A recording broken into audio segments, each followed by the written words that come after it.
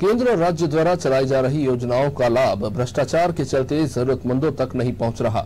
हम बात कर रहे हैं सुल्तानपुर के ग्राम पंचायत सेमरी कला की, जहाँ के दबंग सचिव की मनमानी के चलते जरूरतमंद योजनाओं के लाभ से वंचित है। ग्रामीणों का आरोप है कि सचिव द्वारा आवास योजना का लाभ दिलाने के लिए उनसे दस हज़ार रूपए की रिश्वत मांगी जाती है, जिन्होंने रुपए दिए, उनके आवास स्वीकृत हो गए। इसकी शिकायत कई बार कलेक्टर से की गई, लेकिन कोई कार्यवाही नहीं हुई। सचिव सरपंच को बोलते हैं तो कहते हैं कि आ जाएगी तुम्हारी, आ जाएगी। तीन साल हो गए, चक्कर काट कागज़ दे दे, दस दान आ ही नहीं रही। फिर आ जाएगी आ जाएगी, कब आएगी? जब हमारे बच्चे मर जाएँगे, जब आएगी क्या? पहली किस्त मिली नहीं मुझे। मैंने खूर बखूर करी तो मेरे को दूसरी किस्त मिली। और पहली किस्त, मेरे नाम राशि किसी के दूसरे अन्य के व्यक्ति को खाते में निकाल के लोगों ने खा चुका आपने इसकी शिकायत काशी राम आपने इसकी शिकायत जी। सचिव सरपंच या किसी अधिकारी से की?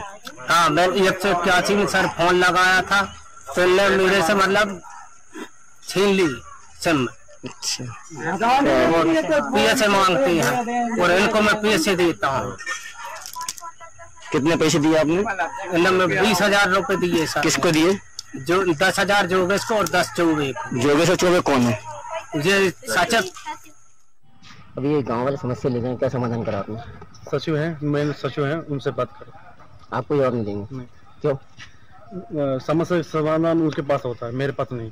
मेरे को ऑन- ऑनलाइन काम करना पड़ता है। जो भी सचिव साहब मेरे को दिए थे मैं फॉलो करता हूँ